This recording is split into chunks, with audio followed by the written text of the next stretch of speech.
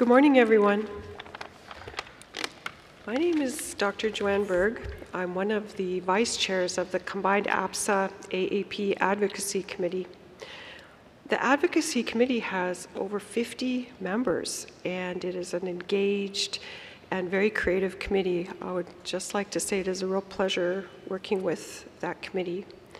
We had such a large uh, group that what we did is we divided into four areas of interest uh, to work on uh, different issues that interested us. And one of those issues was food insecurity. Today I have the pleasure of introducing to you three very experienced pediatric surgeons who are all advocates and activists for food for their patients. And you will see through the presentation that these advocates are saving lifetimes. First is Dr. Marshall Stone. He's the medical director of pediatric surgery at Jupiter Medical Center in Jupiter, Florida, we have Dr. Jeffrey Gander, who is an associate professor of surgery at the University of Virginia Children's Hospital, and Dr. Kirk Reichard, who could not be here today due to a family graduation, but he is the clinical director and the surgical director of the operating room and the bariatric surgery program at Nemours in Wilmington, Delaware. Of note, he is also the president chapter for, his, uh, for the AAP. I have a few slides to put the talk in context. and I would also like to point out uh, that this talk, if you take a look at the APSA pillars, this talk, this talk hits on quite a few of our APSA pillars. So to start, the United States Department of Agriculture defines food insecurity as the limited or uncertain access to enough food. It's estimated that one in seven American children may experience food insecurity, and this is considered an important adverse childhood experience which sets, which sets up children for poor outcomes later. Food insecure children are often sick, they recover slowly, they're frequently hospitalized. The American Academy of Pediatrics has a very good toolkit to explain simply how to screen for food insecurity. And uh, if you ask your patients these questions and they screen positively for food insecurity, then you can direct them to the National Hunger Hotline, which is a very good resource for them and will connect them with sources of food in their area. This is my most important slide. And this slide explains how food insecurity, lack of housing, lack of education, poor health, and interaction with the justice system all interact on a are all in continuity with each other and impact each other. If we can impact one area, we will impact other areas, as Dr. Megan Rainey explained in her um, talk. Hungry children often struggle in school and don't develop properly. They are really set up for a lifetime of poor outcomes. One of our pillars is that we are engaged with the National Healthcare Agenda. And last September was the first White House conference to address hunger, nutrition, and health in over 50 years. Improving our food supply and our nutrition is part of our uh, national agenda. Finally, I would just like to say that there are very good studies that show food insecure people in the United States incur an extra $1,800 in medical cost every year per person. This accounts for 77 billion in additional healthcare expenditures. An investment in food insecurity is an investment in our overall healthcare. And now I'm going to hand the podium over to um, Dr. Marshall Stone. All right, good morning.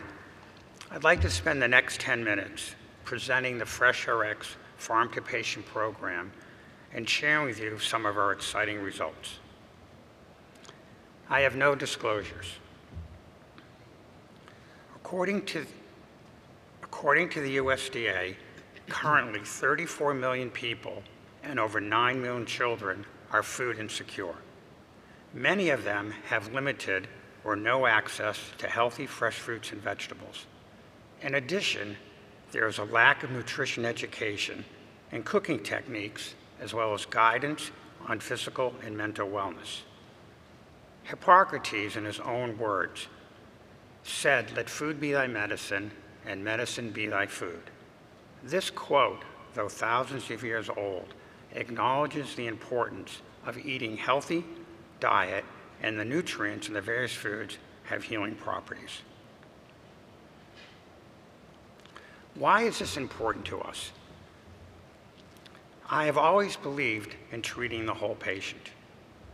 Over the past 10 years, I have noticed an increase in childhood obesity, diabetes, Crohn's disease, ADHD, and other mental health problems in our surgical patients. I am sure everyone here has operated on a 300 pound teenager with appendicitis or gallstones and their associated comorbidities.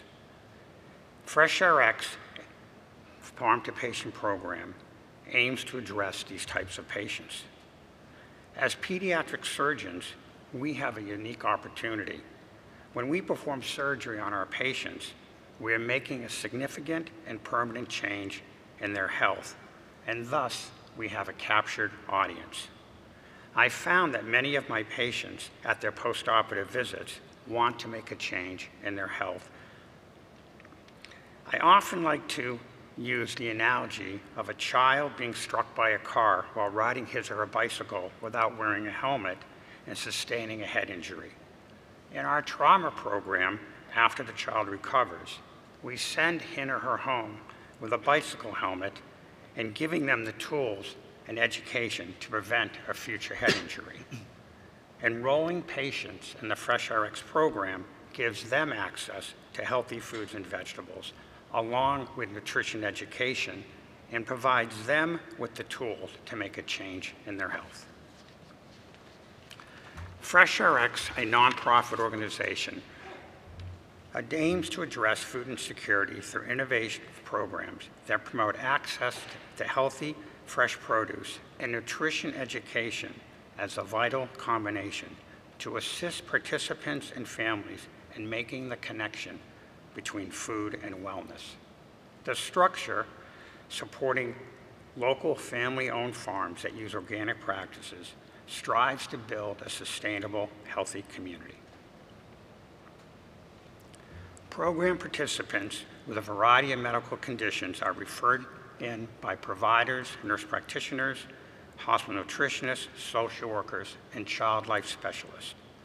Most are screened for food insecurity, sign informed consent, and complete entry, end of study, and follow-up health surveys.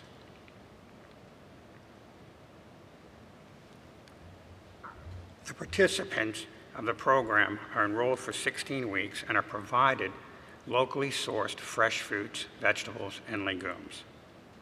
Every week at either pickup or delivery, they receive our educational newsletter, Fresh Fridays. The newsletter highlights the nutritional benefits of the vegetable of the week and provides recipes, cooking techniques, as well as physical and mental wellness resources. On our website, our participants can translate this newsletter into any language in the world. The participants' responses to the surveys were reviewed and analyzed. In the years 2019 to 2022, 318 of those enrolled completed the surveys. The breakdown of the patient participant types and their ages are shown. The blue bars represent entry into the program, and the yellow bars are at completion.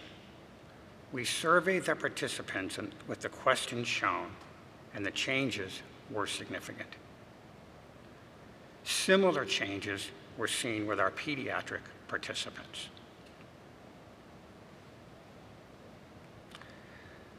When we surveyed the participants after completion of the program on changes in food consumption, we observed a decrease in carbohydrate and an increase in vegetable, fruit, and legume consumption. 83% of participants who enrolled completed the entire 16-week program. At three-month follow-up, 75% of participants reported that they continued to eat a healthy diet, remained active, and felt that their overall health had improved. In conclusion, we show that the FreshRx Farm to Patient program can positively influence diet, physical, and mental wellness. Providing nutrition education, recipes, cooking resources, and mental wellness resources may improve long-term health. I'd like to diverge for a moment and share with you our other program, FreshRx Farm to Kids. to date, seven gardens have been built at local schools and Boys and Girls Clubs. Over 600 students have been enrolled. The program provides free hands-on instruction in gardening and a STEM-inspired classroom curriculum. FreshRx has developed a toolkit that will be available for other institutions throughout the country to start similar programs. This will also be available on the advocacy website. We are developing a FreshRx patient program for low-income expecting mothers who are screened positive for food insecurity. Here is a brief outline of the key components of the Farm to Patient Toolkit. Before I conclude, I'd like to share with you one of our patient's stories. And what better way to tell his story than to hear it directly from him? Can we please play the video? I chemo them give me spikies I don't like. That's because it goes into my body. I need to get stronger to fight that cancer.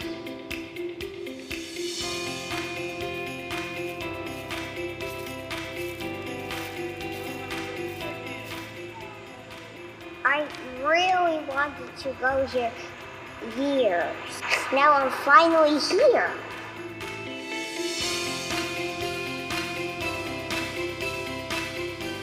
It's so amazing to see Kane now running around like this. Because last year he was going through his chemotherapy of leukemia, had no hair, and uh, he's just recovered so beautifully. I was walking back but like you make it for me. I wish I could bring you.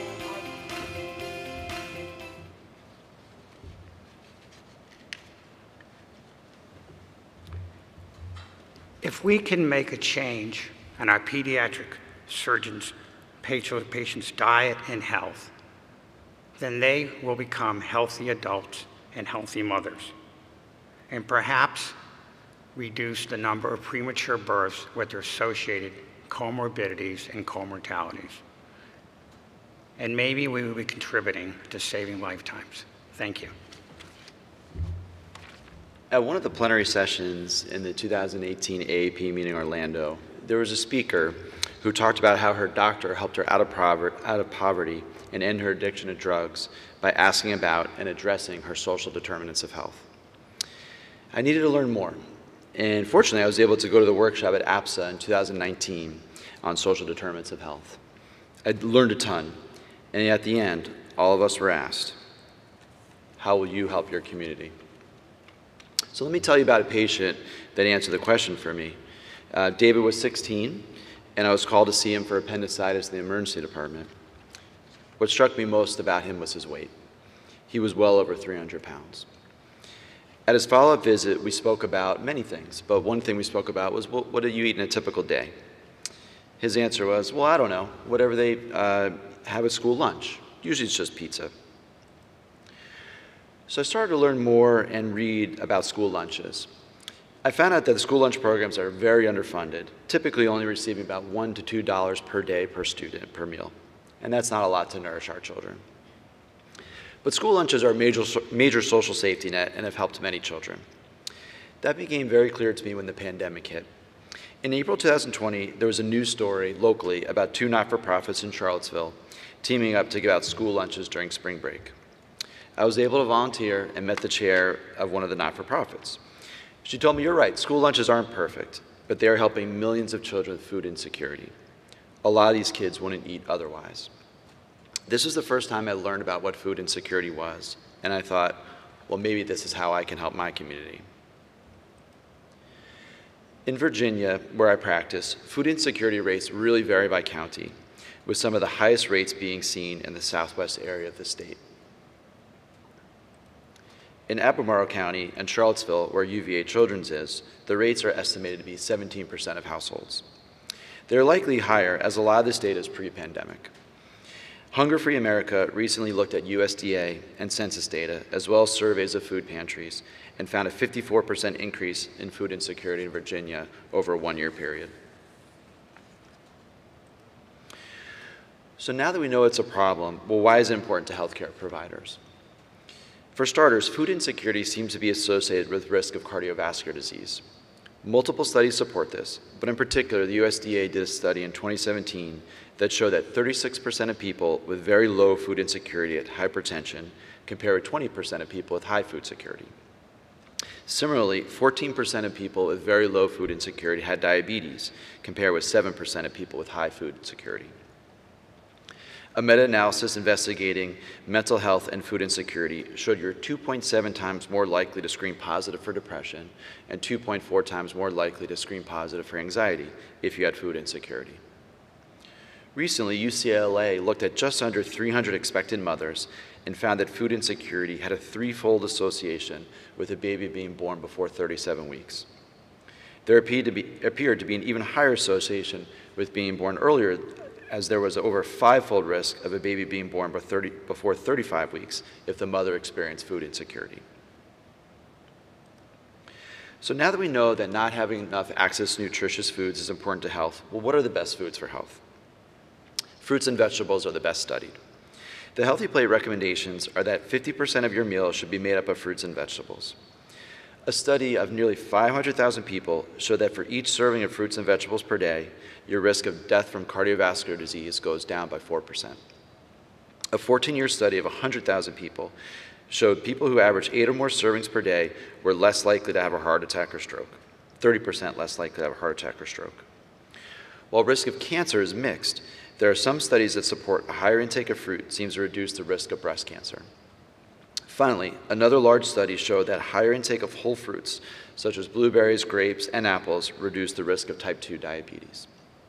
So it seems like we have to get our patients more fresh fruits and vegetables. If you haven't heard of this concept yet, there's something called a food desert. The USDA, however, typically refers to it as a low income and low access area. It's an area that does not have easy access to a supermarket or even a food pantry, especially for nutritious food. The USDA has data where you can map low access uh, to food and low income. So just around the corner from UVA is a neighborhood called Fifeville. This is an area that has a median income of less than $18,000, uh, has a median income of $18,000 per year and more than 100,000, 100 housing units that do not have access to a car. As best as I can tell, these are the only two convenience stores in the neighborhood, and neither one sell fresh fruits or vegetables. So going back to our story, I, have been thinking a lot about my patient with obesity, as well as a way to get more fruits and vegetables for our patients. I learned about a not-for-profit in Charlottesville called the Local Food Hub. They helped start something called a produce prescription program named Fresh Pharmacy with an F. They partner with farmers in Virginia to get locally grown produce to patients with obesity and diet-related diseases.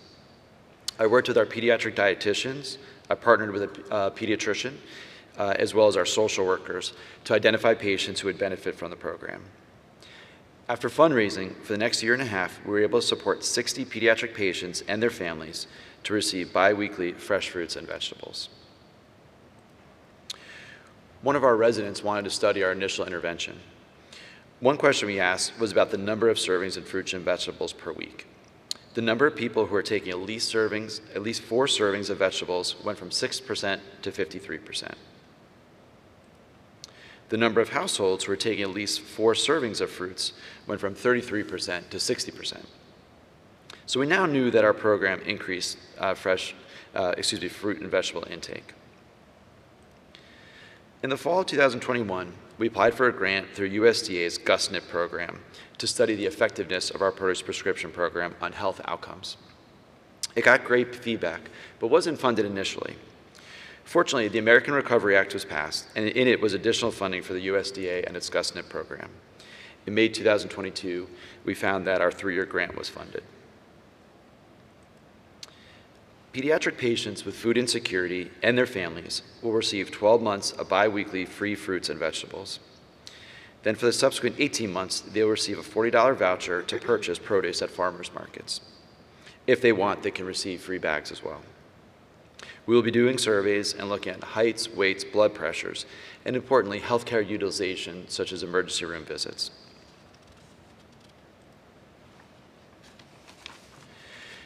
Now, the produce was being delivered to people for patients' houses, and a requirement was to live in Charlottesville.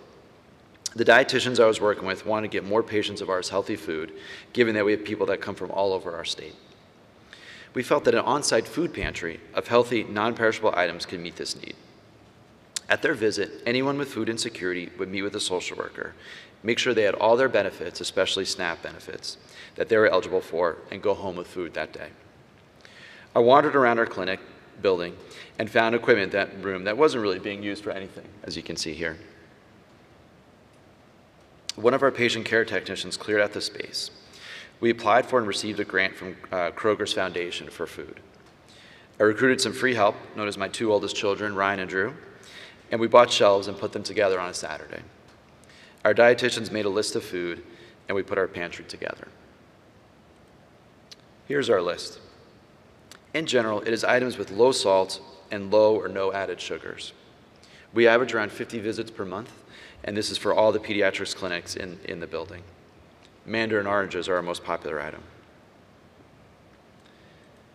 Finally, if you want to do similar initiatives at your institution, Look at what not-for-profits, look at the not-for-profits in town that are working in this space. Ask how you can help. Many of them would love to partner with healthcare providers. My name is Kirk Reichard from Nemours Children's Hospital in Delaware. I'm also a member of the Joint APSA AAP Advocacy Committee.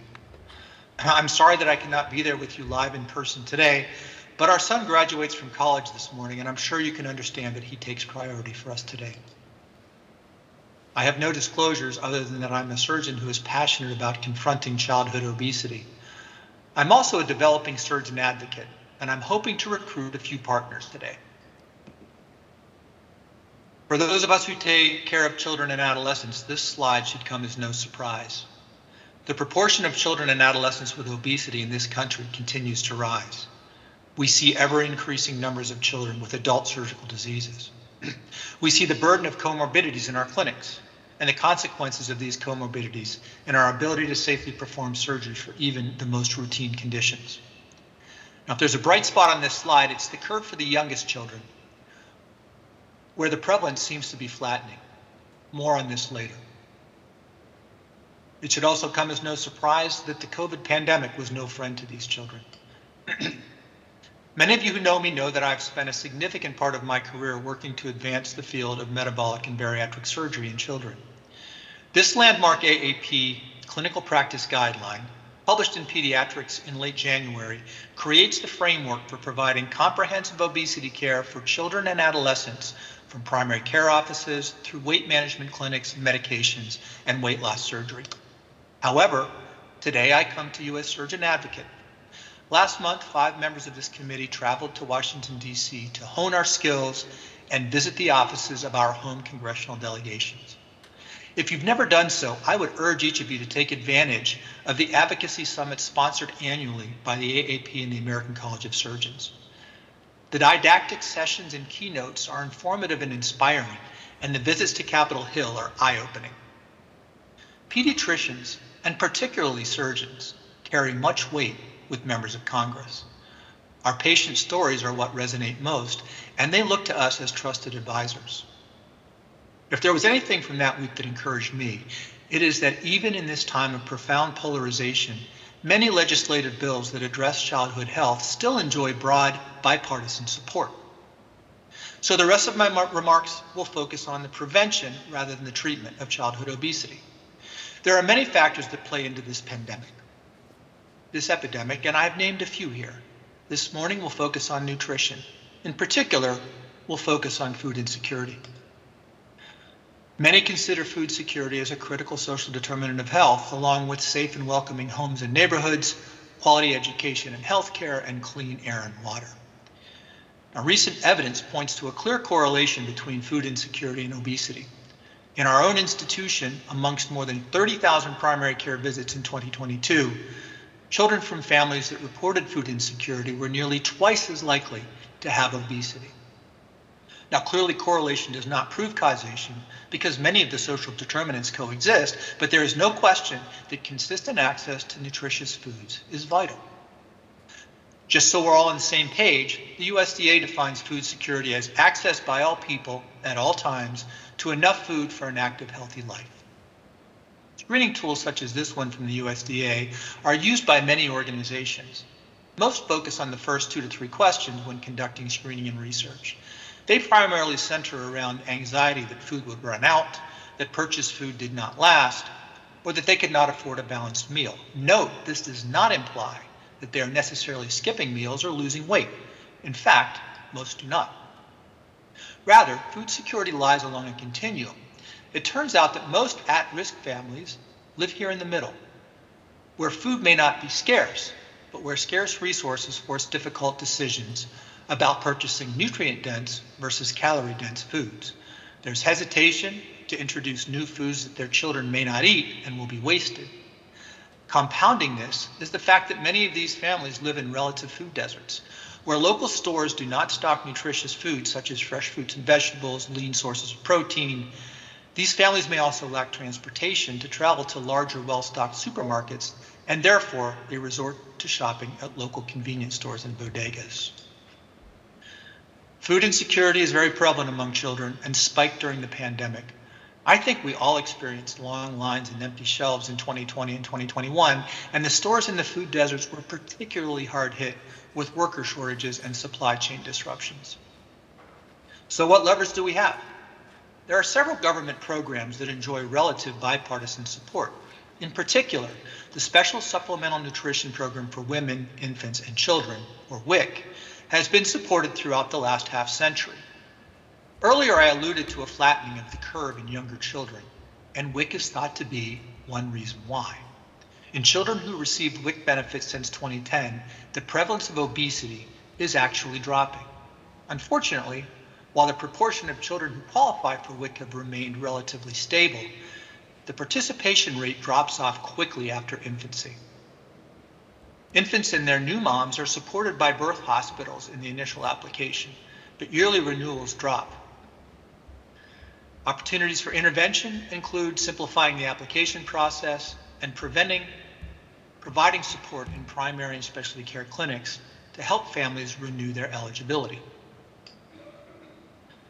The National School Lunch Program was signed into law by Harry Truman nearly 80 years ago, and it established the first childhood nutrition program of its kind.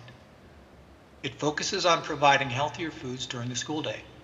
A recent analysis demonstrated that the healthy eating index of all children are improved, including amongst children from food insecure households.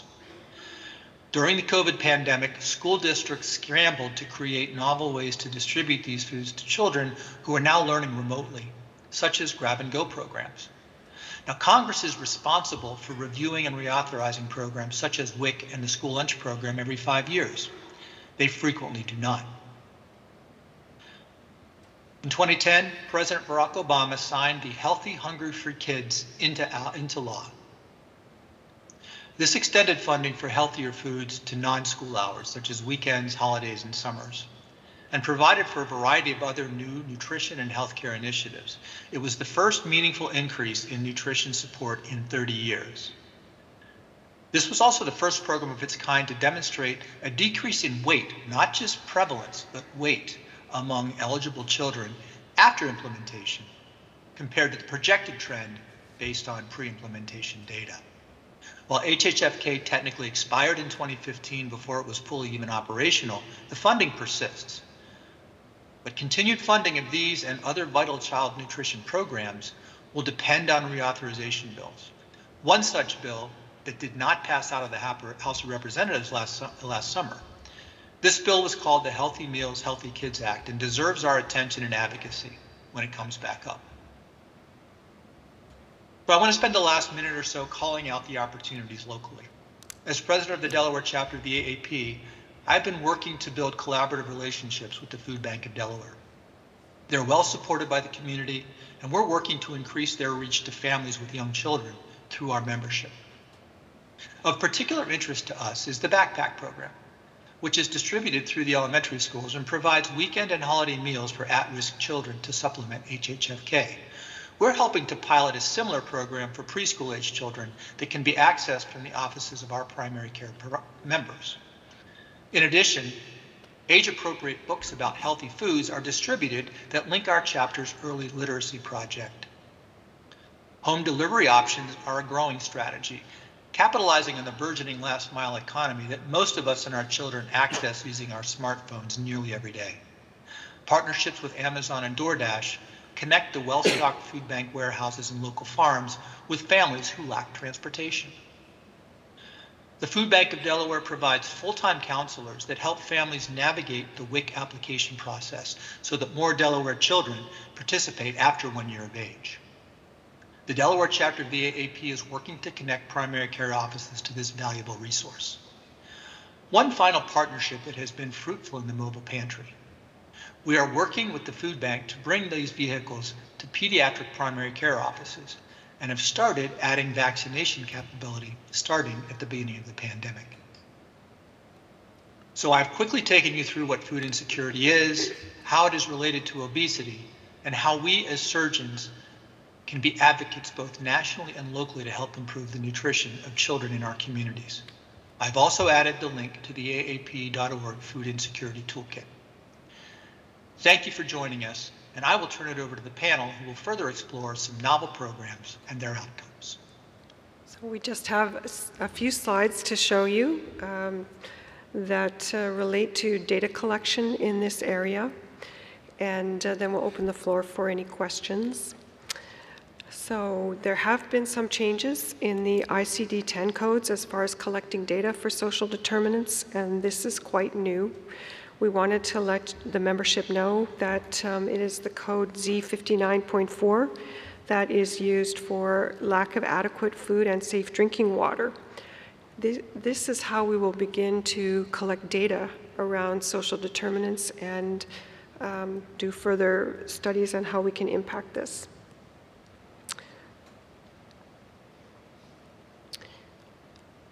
These are some of the new um, codes that are used to document social determinants, and this has uh, uh, come out from our Centers for Medicaid Services.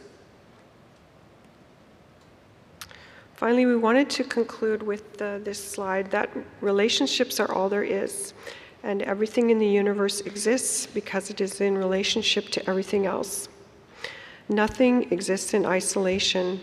We have to stop pretending that we are individuals that can go it alone. We're all connected. And now we'd like to entertain your questions. Hi. um, I'm Abigail Martin from the University of Kentucky, although I recently was one of Kirk's partners, so very familiar with the work that he is doing, and I want to congratulate all of you on the amazing work that you're doing. Um, this is more a comment than a question, but I, I just wanted to make sure that everyone was, is aware. Um, the American Society for Parenteral and Enteral Nutrition actually has a Malnutrition Awareness Week, and this year it's um, September 18th through the 22nd.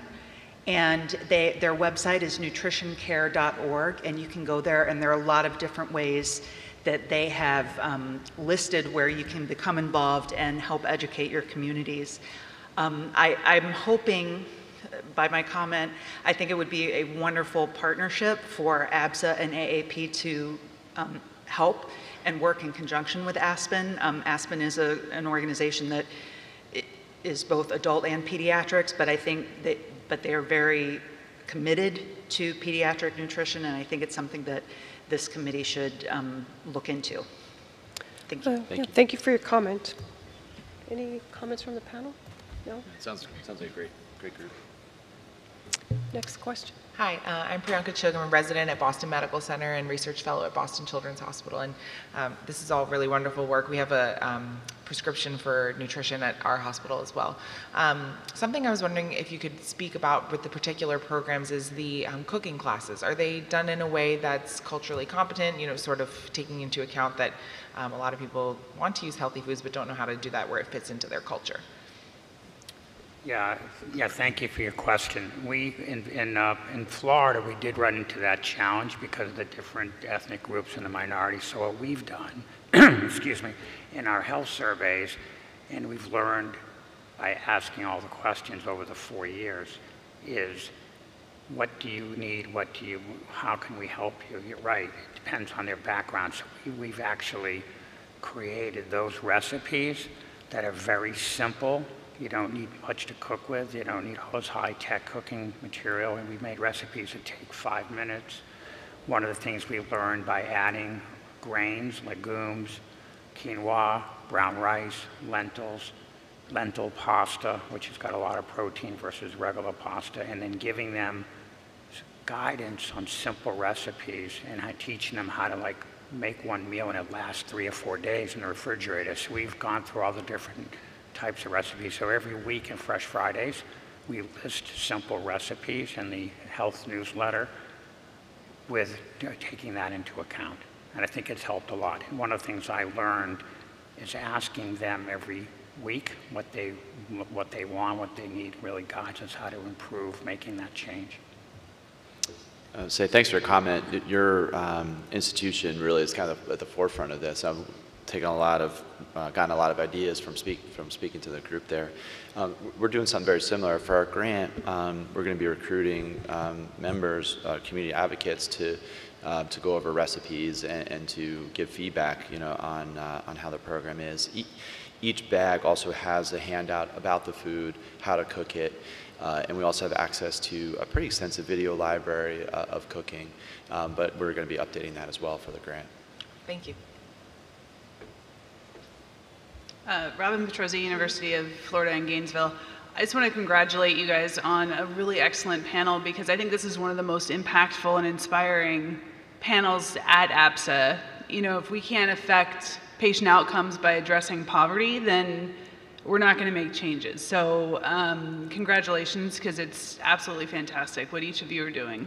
Um, but, and, and also in doing a, a joint um, committee with AAP and APSA, you know, gives you a lot of opportunity. So how far can you push the you know, margin? So there's, there's CPT codes for metrics of poverty and access.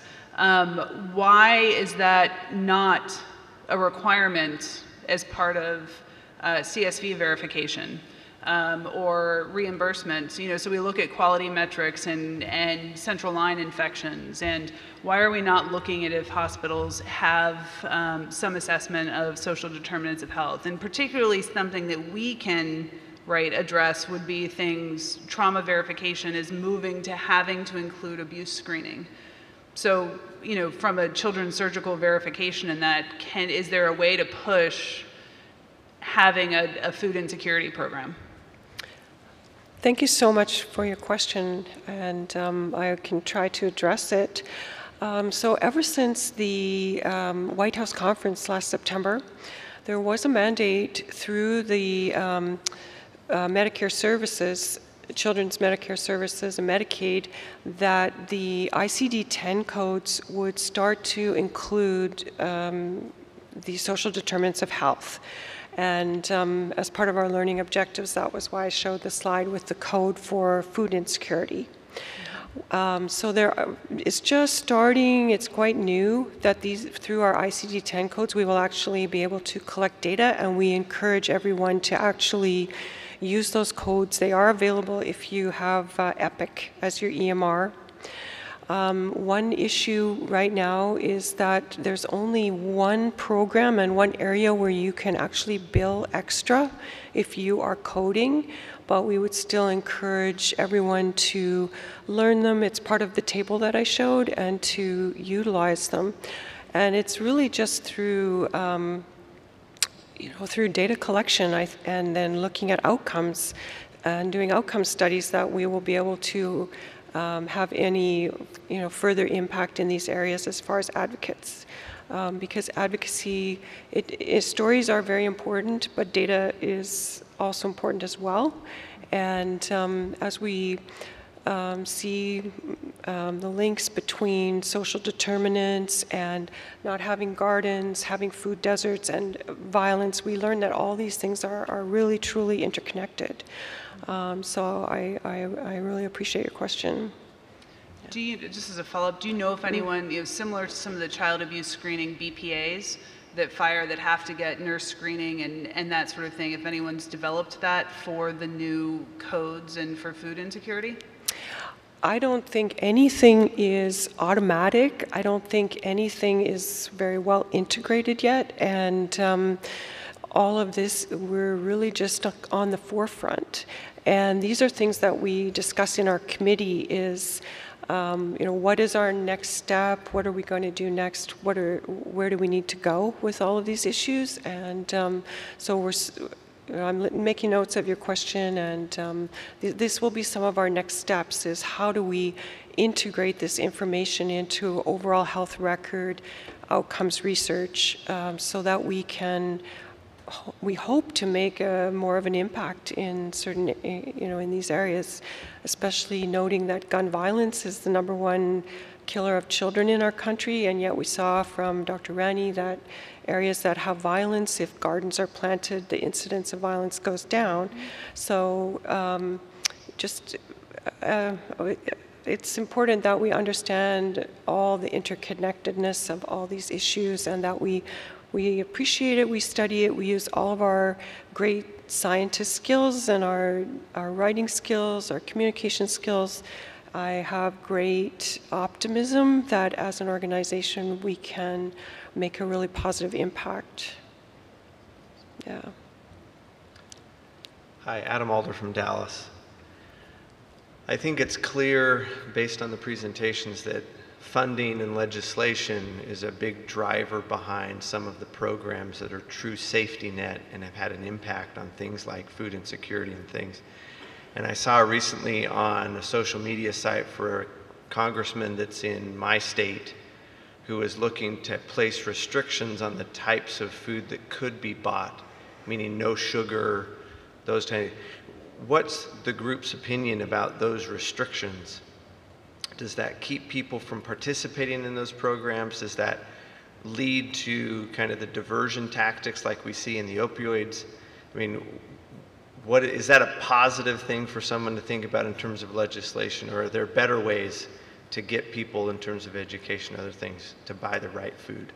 Yeah, it's a good question. I think it potentially is a positive thing. I know, for example, WIC, um, Dr. Reichard had talked about in his video, uh, juice is is in is a um, you're allowed to buy a certain amount of juice per, per month. And it's a great question whether that really is, is beneficial. Is there any really health benefits of juice? So, uh, so I think it probably is. Um, it, you know, if, if, that money comes out for, let's say, juice goes up for fresh fruits and vegetables, you know, I think that's reasonable. Um, but if it puts other restrictions on it, you know, it's something that we'd have to address, I think. Marshall, any, any comments on that? No? Okay. There time? Panel. Um, my question is, is particularly for those of us who are um, advocacy, advocacy neophytes, um, you know, we're surgeons, we have a finite amount of time and resources, and you've provided a lot of great different programs. But how do we decide, you know, what is potentially the best intervention for our community? You know, should it be something that's like hospital-based versus community-based versus like legislative, um, something that can be done on a legislative level? Uh, think, particularly with regards to um, this, this uh, very salient issue. Thank you. Yes, I would say I think it's okay to start small, like start at your clinic. You know, if you want to sc um, screen all your patients for food insecurity, you know, have your check-in folks do it, or you do it, or nurses, or, or whoever it is, whoever it is, and, and, then make sure that all those people are getting access to the benefits they're um, eligible for, SNAP benefits, WIC benefits, like we mentioned. Uh, and that's kind of how we started, and then we've slowly grown. And right now, I'm trying to get um, every hospitalized patient uh, to be screened for food insecurity, that they can go home with either food or, or making sure they have their benefits. So, you know, it does feel daunting, but I, I think just starting small at, you know, just maybe your, your clinic or, um, you know, your partner's clinics. Yeah, excuse me. I was going to add that um, the, I think the toolkit that we're going to um, provide will help Um, It is a challenge for any institution to set up a food pharmacy or a FreshRx program. And, you know, it really starts, I learned in my four years with a uh, physician champion, whether it's me or a pediatrician or one of us as a surgeon. Obviously, being a pediatric surgeon, I can't be involved in doing this all the time. So we work on recruiting all the key components, and you really have to get administration to buy in, the, uh, all the providers, nutritionists. It, there are challenges with fundraising, et cetera, but we found, like uh, Jeff said, we started small. And, you know, we have 500 families and patients in four years in uh, the FreshRx patient program, and we enroll about 140 a year. And I think just starting small and getting the support from your community and working with your community farmers is a, is a way to start. And I'd be happy to, you know, give advice at another time and just how to set up a program.